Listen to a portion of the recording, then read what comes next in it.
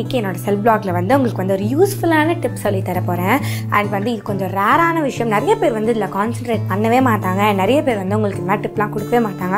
And நான் வந்து உங்களுக்கு வந்து இதுக்கு ஒரு முக்கியத்துவம் கொடுத்து அண்ட் இதை பற்றி நான் உங்களுக்கு சொல்ல போகிறேன் என்னென்னு பார்த்தீங்கன்னா நிறைய பேருக்கு வந்து நீஸ் அண்ட் இங்கே இருக்கிற எல்போஸ் எல்லாமே கொஞ்சம் டார்க்காக இருக்கும். அண்ட் கொஞ்சம் ரஃப்பாகவும் இருக்கும். கொஞ்சம் ஸ்மூத்தாக இருக்காது.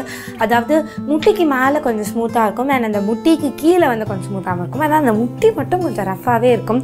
அண்ட் இப்போ இருக்கிற கேர்ள்ஸ் எல்லாமே ஒரு பார்ட்டிக்கு போகிறாங்கன்னா ஒரு பார்ட்டி ட்ரெஸ் எடுத்துகிட்டு அதாவது ஒரு ட்ரெஸ் போட்டுக்கிட்டு ஒரு ஷார்ட் ட்ரெஸ் போட்டுக்கிட்டு அப்படியே கிளம்பிடுறாங்க. மாய்ஸ்சரைசர் தடவறதுக்கு கூட அவங்களுக்கு வந்து நேரம் இருக்கிறது இல்லை.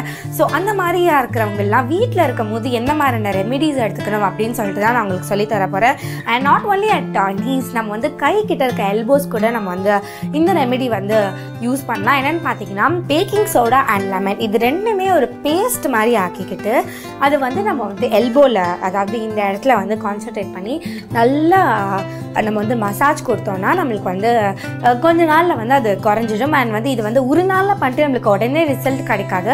கண்டிப்பாக நம்ம வந்து இது ஒரு டூ வீக்ஸ் மினிமம் வந்து நம்ம பண்ணிக்கிட்டே இருந்தால் தான் நமக்கு வந்து ஒரு ரிசல்ட் கிடைக்கும். கொஞ்சமாச்சும் ஒரு டிஃப்ரென்ஸ் தெரியும் நம்மளுக்கு. முன்னாடி இருந்ததோட. ஸோ அதே மாதிரி கை எல்போக்கு பண்ணுற மாதிரியே நம்ம வந்து நீஸ்க்கும் பண்ணணும் அதாவது நீஸ் நீஸில் மட்டும் நம்ம வந்து இது பண்ணணும் அவசியம் இல்லை. நம்ம வந்து ஒரு பேஸ்ட் கிரியேட் பண்ணால் அதுவும் நம்ம கை எல்போக்கும் போட்டுக்கலாம் நம்ம வந்து நீஸும் போட்டுக்கலாம்.